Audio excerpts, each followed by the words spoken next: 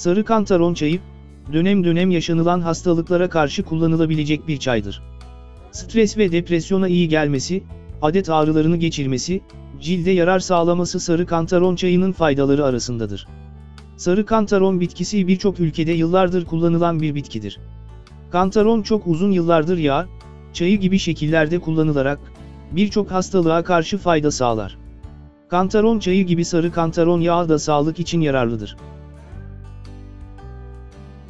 Birçok rahatsızlığa iyi gelen ve, özellikle depresyon tedavisinde kullanılan, sarı kantaron çayının faydaları şöyledir. Antidepresan özelliği vardır. Depresyon için fayda sağlar. Sinirlilik, depresyon ve ruh halindeki çöküntüler için kullanılabilir. Araştırmalara göre, sarı kantaron çayının, birçok antidepresan ilaç gibi, depresyon tedavisinde etkili olduğu belirtilmiştir. Sakin olmaya yardım eder. Olaylara olumsuz tarafları yerine olumlu şekilde bakmayı sağlar. Mide ve midenin asiditesi için faydalıdır. Ülser ve gastrit gibi mide rahatsızlıklarının kolay iyileşmesini sağlar. Adet ağrılarını azaltır. Bazı kadınların adet dönemleri oldukça ağrılı geçer.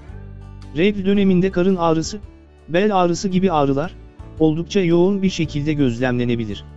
Adet dönemindeki karın ağrısı gibi ağrılara iyi gelmesi, sarı kantaron çayının faydaları arasındadır.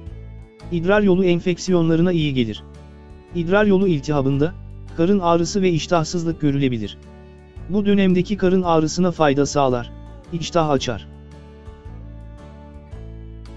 Hormonal dengeyi sağlar. Vücuttaki hormonları dengeleyici, düzenleyici etkiye sahiptir.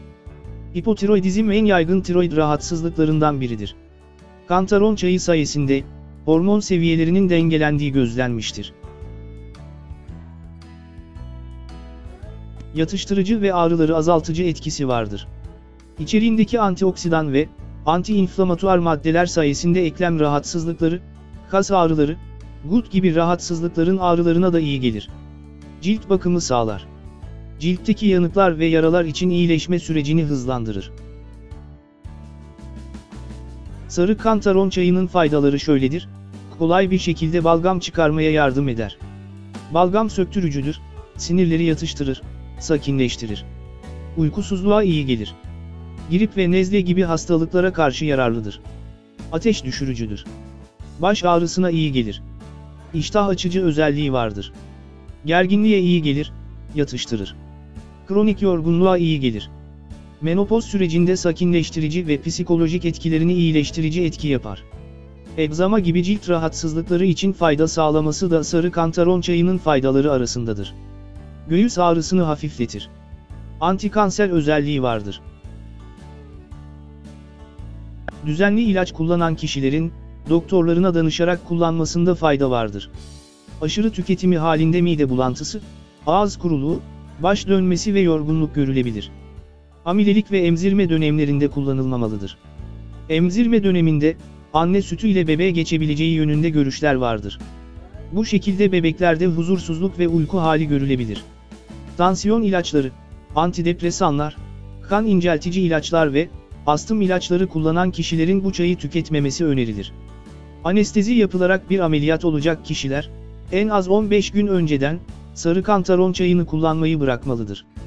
Düzenli bir ilaç kullanıyorsanız, kantaron çayı kullanmadan önce mutlaka doktorunuza danışmalısınız.